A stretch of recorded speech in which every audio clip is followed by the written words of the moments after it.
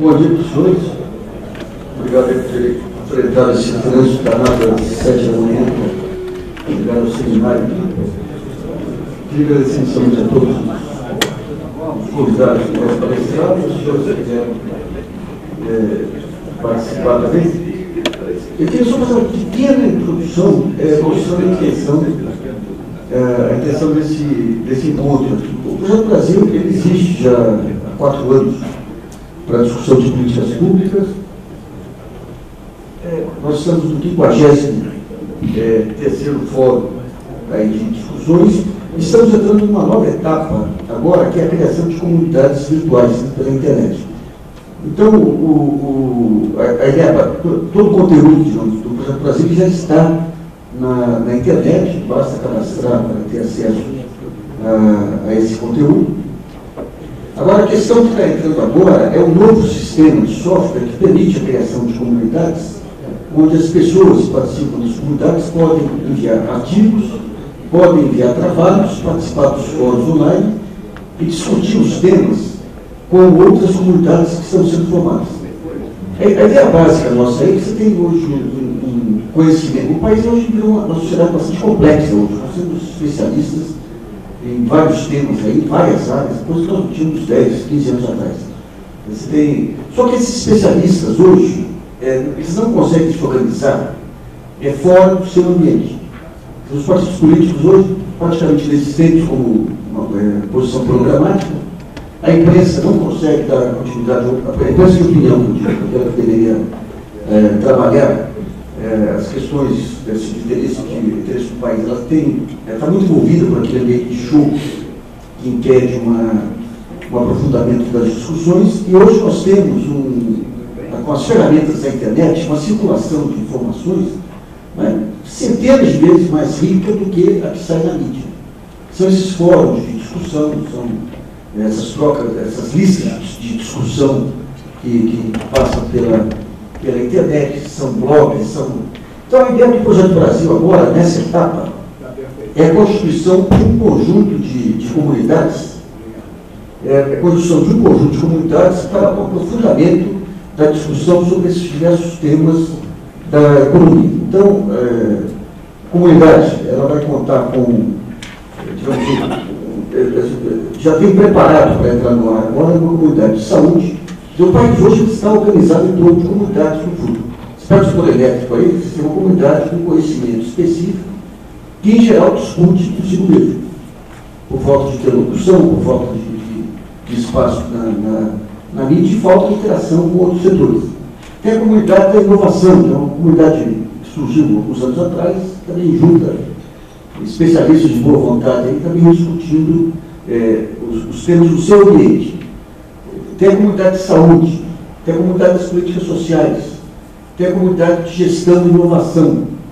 Então, esse conjunto de, de, de comunidades que hoje, é, digamos, englobam, que o Brasil tem de pensamento é, mais sofisticado, é, com a internet nós estamos achando que é a hora de começar a utilizar as ferramentas existentes para é, começar a dar, dar, massa crítica a esse tipo de, de discussão. Então, você sai do âmbito da discussão em governo, você estimula que os partidos políticos comecem a discutir temas é, programáticos. Então, a, é, a, a organização da, da, comunidade de energia que nós vamos fazer, depois quem quiser participar, é só deixar um cartão que nós vamos enviar um e-mail com os dados de cadastramento. A ideia é o seguinte, desse, desse seminário, esse seminário está sendo filmado, nós vamos tirar, no final do seminário, nós chamamos de um documento mestre. O documento mestre é algo que qualquer pessoa lê, entende dizer, o que é o setor, quais as características do setor, o que nós estamos discutindo, o que nós vamos discutir, é, digamos, nesse, é, nessa comunidade, né, essa nova matriz energética, risco de apagão e tudo mais. Daí nós entramos é, preparando, digamos, a partir desse seminário também, é, os trabalhos fundamentais que serão necessários para que as pessoas leiam e possam participar. A partir disso, vão ser feitos convites para, para, para a criação da, da, da, da, comunidade de energia, parte desses convites é para, as, é para as associações já existentes, para que estendam aos seus associados, parte para nomes que vão surgir aqui do, decorrer da, da, das discussões e parte para leitores que queiram discutir de forma, de forma ampla aí, também mesmo não tendo representação, não estando ligando, é, ligado a organizações. Eu tido uma experiência no blog lá muito rica, muito rica com esse, esse conhecimento difuso que tem por aí. Você joga um tema qualquer, de repente aparecem três, quatro, cinco leitores aí, com visões críticas é, diferentes, trazendo opinião, trazendo. É, isso aí marca uma, uma mudança é, fundamental na maneira como as informações transitam é, na, na comunidade, transitam no país. Você tem o, o sistema tradicional de mídia, o que, que é? É? O senhor fica numa ponta, o jornalista na outra. Daí, por alguma razão, surge uma pauta no jornal sobre o tema tratado, e geral essa pauta é sempre em cima do fato consumado, só que isso estoura a crise, porque enquanto não estoura a crise, não tem, é, não, não tem pauta, digamos assim. A crise de apagão em 2002 foi tipicamente isso. A pauta só ocorre quando tem a crise. Daí o jornalista vai até a fonte, entrevista a fonte. O jornalista não é especializado, mas ele tem uma, uma postura ativa um conjunto de perguntas que o, que o, o pauteiro coloca para ele, que são perguntas de senso comum, não são aquelas perguntas ele sabe o que ele quer perguntar, que geral muito pobre, não sabe o que vocês têm de, como especialistas, para, é, para agregar. É uma posição muito, é, muito pobre do ponto de vista de captação de informação, que ficou até hoje, porque obviamente você não tinha outros funcionamentos tecnológicos. Daí ele pega 10 informações, volta para a redação, seleciona duas ou três que ele considera que tem mais impacto junto ao leitor, a seleção é dele, ele diz o que é relevante ou não, não dos senhores, deixa sete de lado. Em geral, como ele tem que cobrir vários temas, ele às vezes tem concepções de avaliação errada, tanto de, do que foi dito, quanto do que do valor, ou da importância, da relevância do que vai ser publicado, publica. Publica, dá o código da data, o senhor mandou carta para corrigir os erros de interpretação e tudo mais, mas a matéria morre, porque não tem continuidade. Esse é o modelo convencional e no, no, mundo que com esse volume de informação, você vê, as empresas hoje, as empresas hoje elas, elas têm ferramentas de informática para tratar com grandes volumes de informação. Desde os indicadores, você tem é, processos de seleção de informação, tem um conjunto de, de ferramentas. A imprensa, no modo tradicional, não consegue informação que cai em cima da cabeça do, dos jornais, de tal maneira que o jornal no dia seguinte é o que a internet deu no dia anterior e sempre de uma forma pulverizada, uma forma desagregada. Com o conceito de internet, o jogo muda de figura. Eu dou um exemplo na, naquela crise, o papel avião da, da TAM, por exemplo. Os jornais levaram um mês para chegar a algumas hipóteses. Lá, o blog já tinha, quatro, cinco dias, já tinha é, chegado a um conjunto de hipóteses que os jornais desenvolveram ao longo de dois meses. E por que isso? Porque o modelo era diferente. Você faz uma provocação, aparece lá um, um operador, um operador, um controlador de voo. Você nem sabe quem é que joga um conjunto de informações para você. Daí aparece um piloto, que você não sabe quem é, joga outro conjunto de informações. Então a seleção se dá pelo bom senso e quando é um tema técnico que você não domina, coloca para discussão e os outros leitores vão dizer se é correto ou não. Então o papel do jornalismo ele inverte completamente. Quem fica o dono da informação não, não precisa mais do intermediário.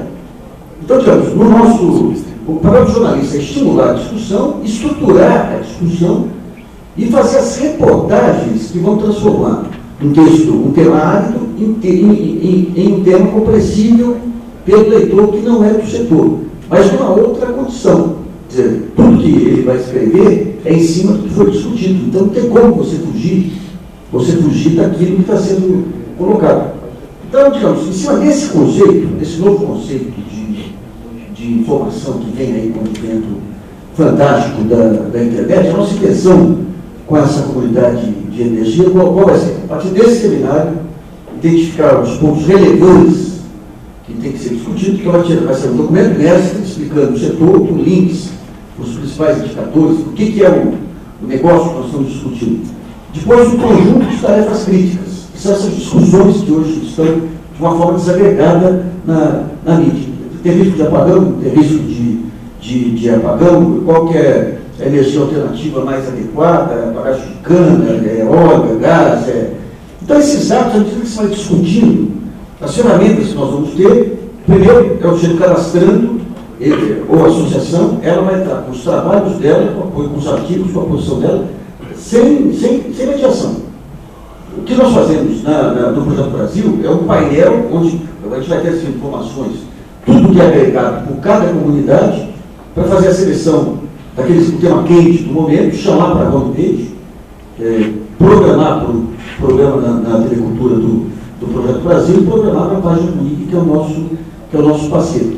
E a discussão, e, e depois você tem então, os, os, artigos, a biblioteca, que são os trabalhos que são é, colocados lá, e os temas de discussão.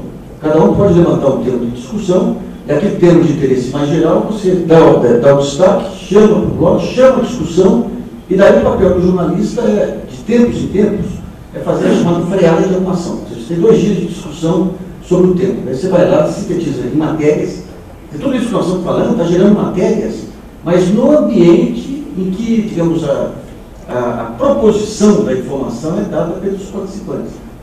Então, é, vai ter o fórum online de discussão, vai ter a lista de discussão que vai permitir fazer discussão é, por inteiro também, é, vai ter uma área com os indicadores principais do setor, que é um ponto relevante. Né? Em todas em todos as comunidades, a questão de todos os indicadores, nós vamos é, colocar de uma forma ampla. Vai ter um conjunto de entrevistas vai ter um conjunto de colunistas também. Esses colunistas que nós vamos convidar a partir, a partir aqui da, do seminário, é, a ideia é que eles possam produzir artigos periódicos, quinzenais ou, ou semanais sobre o tema, e também gravações através de Skype com, vídeo, com videocâmeras, nós temos um sistema também que está sendo implantado, gravações de entrevistas pela internet também. Então, em cima de tudo isso, você vai consolidando documentos, daí ambiente único, que é aquela tecnologia daquela Wikipédia lá. Você vai consolidando documentos, mas dentro de um propósito, de um objetivo a ser alcançado. Ou seja, você tem um documento mestre, esse documento mestre vai discutir tais, tais, tais temas. Então, durante um prazo X, você vai discutir todos esses temas, você vai ser as principais conclusões vão ser englobadas no documento, o que são informações objetivas são colocadas como informações objetivas, onde há discussão, você deixa claro que há discussão, se há dúvidas sobre, por exemplo, vamos pegar essa questão da, do, do risco de apagão ou não. Há uma discussão ampla, que é difícil você, a, a, a opinião pública acompanhar, e é até difícil, eu, acho para os próprios agentes acompanhar, por quê? Porque um lado faz o cenário com um conjunto de proposições, o outro lado faz outro cenário com um conjunto de, de, de hipóteses e não tem o um contraditório. Então, à medida que você entra nesse ambiente, você ajuda, através de, de discussões de, de, recíprocas, você vai aprimorando os critérios e tudo isso de forma transparente para que a opinião pública mais especializada que está acompanhando perceba a consciência de um lado e de outro e que, como toda discussão, é, discussão rica, aí, os dois lados no final acabam, acabam pensando de forma diferente do que pensavam inicialmente. Então, é, esse vai ser o objetivo hoje é, desse seminário, é o seminário, como todo seminário presencial. Não vai dar, obviamente, para aprofundar todos os temas. Então, na apresentação é, do, do, dos palestrantes, a ideia central é que, é que foquem naqueles pontos que são que são é, é, fundamentais, que, que provocam esses pontos, de tal maneira que a gente consiga captar esse conjunto de pontos aí através de vídeo também, e depois isso aí na criação da comunidade, cada ponto desse vai ser é, aprofundado com entrevista com os palestrantes, com entrevistas com outras, com outras pessoas também. Eu chamo a atenção que quando teve essa questão da transposição do São Francisco, foi um caso muito interessante, quando começou a discussão uns dois anos, três anos. Uma discussão também é, totalmente é, descolada. Você, tinha, você levantava um item aqui, e toda discussão pública de tema completo, você tem 10 pontos a favor, 10 pontos contra. Então o que acontece é que quem é, é a favor seleciona os pontos a favor e não tem interesse em selecionar os pontos contrários, e vice-versa. Então, é, como nós fizemos a discussão de São Francisco, por exemplo, que era um tema muito complexo, nós conversamos lá com o pessoal do Ciro Gomes, com o pessoal da SBDC, o pessoal do Marcelo São Francisco, os governos aí dos estados afetados, especialistas de algumas universidades, daí se abre a discussão, esses são os pontos.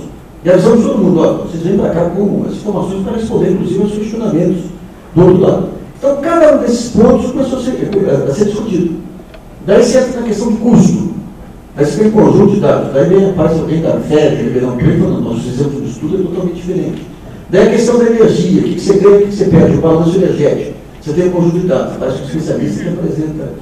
Então, é, a importância disso é, primeiro, a informação fica muito mais apurada, segundo, esse contraditório, com a participação ampla de, de leitores e ele ajuda a consolidar junto a, a esses leitores é, o tema, acima das divergências, a importância do tema, e, e finalmente, num certo momento, vai dar para estabelecer uma interdisciplinaridade lá entre as diversas comunidades que compõem aí a, esse universo de transformações que o Brasil está tá passando. Não tem dúvida que nós estamos no mais profundo processo de transformações da história, toda essa perda de rumo hoje decorre desse novo que está vindo por aí, tem que ser desenhado nesse momento, e nós esperamos que com, esse, com a criação dessa comunidade a gente consiga avançar um pouco nessa discussão de políticas públicas.